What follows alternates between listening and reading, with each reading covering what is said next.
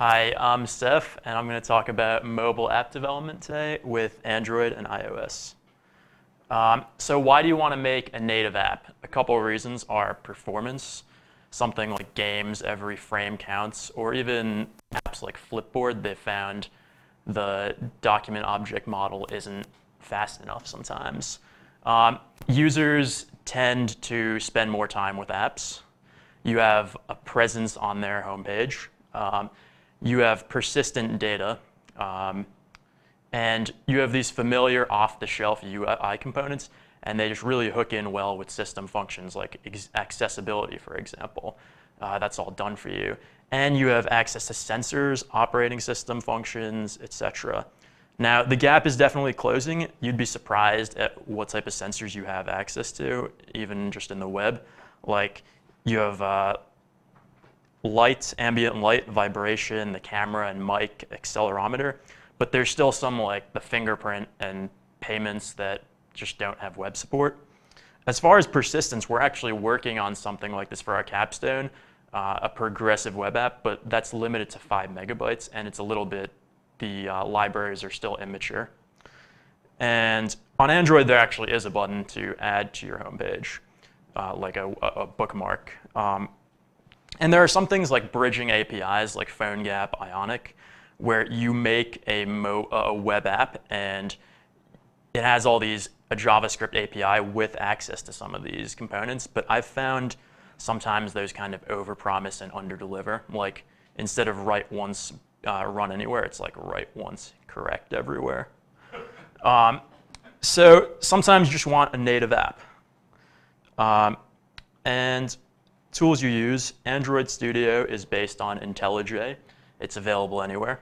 Uh, unfortunately, Xcode is only for the Mac. Um, there's three main programming languages I'm going to talk about. There's Java, and this is actually the subject of a court case right now. Um, Oracle has sued um, Google because the way it works is, for a, from a pro programmer's perspective, it's exactly the same. You're programming in Java. Of course, there's some new APIs that are phone specific, but behind the scenes, it's different. And so the question is, can an API be copyrighted? And if so, is Google's re-implementation of the Java language fair use? And so far, they've decided yes, but it's still ongoing. And the way it works is different depending on how new the version of Android you have is. The older versions, instead of using a Java virtual machine, which is what the desktop version uses, that's how it's like portable everywhere, they use Dalvik, which is a mobile optimized version. And as far as Android, Lollipop, and further, um, they actually have what's called ahead of time compilation. So it's Java that's compiled to machine code and run natively. Um, and that happens when you install the app. Um, so Objective-C is the traditional language to program for iOS or even Mac, uh, like OS X. And it was developed pretty long ago. I think uh, Steve Jobs, when he got fired from Apple, formed NeXTSTEP, and they decided to use this as the basis of their computers. Eventually, they got bought again by Apple, and Steve Jobs rose back. And it's influenced by C and Smalltalk, a famous object-oriented language. It's technically anything that works in C works in Objective-C. Um, and people say it's verbose and archaic sometimes. Um, Swift is the same is like a newer language with less of that legacy baggage, and you'll find a lot of features of modern programming languages in it. Like uh, you'll notice on the next slide, and you can use it alongside Objective-C in the same project, and it's open source. So here's a bunch of features. I'm not going to go through all of them, but uh, you'll notice there's a lot of even like things you might see in ES6. Um, one really interesting one is Playgrounds, which is it's like REPL meets textbook meets Notepad meets like preview your application. And you can see here like they're executing some math code and it's generating this sine wave over here at the bottom. So is Swift a success? Um, I'll let you figure that out. Another really important thing is memory management. Um, it's something that's evolved over time. When originally you had to manually manage your memory, And what that means is when you have an object, let's say I say x equals new object, y equals x, you have one object in memory, and you have two references to that. When I say y equals null, I have one reference. Whenever you have no references left, you don't need it. So it's pretty safe to say you can get rid of that memory and reclaim it for something else. That's the concept. So there's a couple methods programmers use to manage this. Um, alloc creates a new um, object. Retain is when you want to assign an, uh, a variable to that object, like additionally. And copy creates a clone, leaving the original, and creating another one with a reference count of one. And then release and auto-release decrement the count, uh, the reference count, and they're both very similar. Auto-release just defers a little bit, so let's say you want to return a function and then get rid of something, it will hold off until after that is returned. And dealloc is something you, you never call it, but you override it in classes, and it cleans up some like properties that might be there when that class is destroyed. Um, in 2011, they came out with this thing called automatic reference counting, which is a form of garbage collection based on those rules. The only method that still remains of those is alloc, and that carries over to Swift.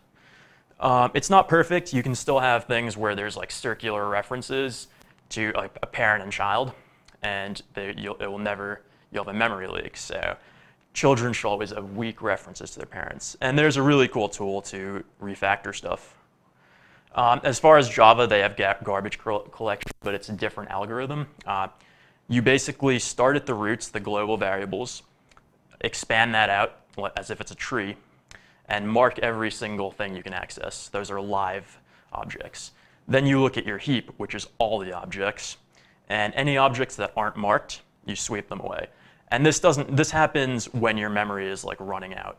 It's not something that's continuously monitored. So I'm going to build a little demo app, or rather, I've built it. So this is um, iOS Objective-C. This is what you call the interface builder. And as you can see up in the right corner, that class links to a code file on the left. I don't know if that's clear enough for you, but you're dragging out interface elements. And these, you can make a static layout, and you can make it responsive. You can see you can center it on the page. And when it comes time, you can link this to code files. So right now, I'm going to make that little uh, uh, label a property of a class. And as you can see, you can set the text dynamically, and you can change colors. You can do all of this sort of stuff, and that's what makes it really powerful. It's like the ease of use with the uh, like versatility of code. And this is completely optional. You can do everything entirely in code, but most people are going to use storyboards and interface builder. So right now I'm just setting the color of some fonts.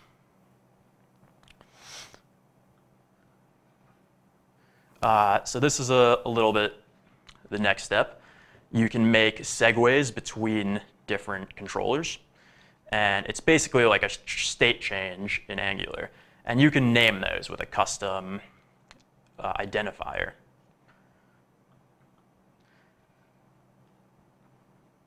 Now, finally, I'm going to create a new class. By the way, if I haven't told you, this is basically like an app, like you enter in a tag and it's going to search for that on Instagram. So this is inheriting from UI collection view which controller, which is like a grid layout in iOS. They have table view, collection view, um, all these different things. You'll notice a lot of these are commonly prefixed. That's like an IG. And so I'm just going to create that code file and see that, that um, thing on the right here. I'm going to link that to that code file, that class. So uh, this, that on the right represents that code file. And finally, you can basically import that. This is back in the first, the entry point of the app. I'm going to import that new um, view controller which holds the grid. I'm going to capture the input from my entry point, that first, uh, the text box. And basically, I'm going to say when you transition over, you can pass this data to the next uh, slide. And so on the next page, gallery.search search term is what is on this page, self.input.text. And I just have like one more step to this. So a couple methods. You init a, a grid view with some options. You um, on view did load. This is just OAuth stuff. Uh, Instagram now requires like a individual user token, which it didn't used to. And then refresh, this is just grabbing the data and images and loading them asynchronously. And then these are the really important methods. You have your UI table view controller or grid view controller is actually three things. It's a grid view, it's a, what's called a grid view data source and a delegate. And data source methods are things like cell for item at, indi at index path, and it's basically saying it's gonna, what's actually happening is it's loading an individual image into a cell. And it's using that, that images array we populated in the refresh method. And then what's called a delegate method is, what, is something that responds to events. So I didn't use this, but if you want to use did select row at index path, when someone clicks on an image, say you want to expand it out, this is the method where you kind of take advantage of that. And just a couple differences. Swift doesn't have class and header files. You have a, a, single file. On Android, you have something similar, but you can flip between that and XML, which is really handy. And you have these things called fragments on Android, which let you really easily, like, they're like containers that you can uh, reflow. So something on tablets might look different on phones, but you're using the same components. And as for publishing your app, it's a pretty similar process. You need to build and sign these files. Uh, Apple's a little bit more expensive, but you tend to get more revenue from them, uh, even though there's fewer downloads. And they both take the same cut. Um, the Apple App Store approval process used to be really long. They've really cut it down like really recently. And Google used to not do, it used to be completely computerized. And they still do that, which for like virus scans and like it speeds it up a lot, but they have added like a human review. And another cool thing about Android is you can what's called sideload apps. So even if something's not on the App Store, you can download and install it.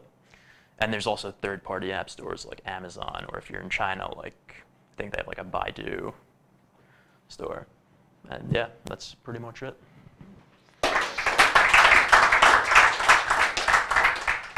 time for one or two questions? Have you published an app yet? I've published an iOS app in a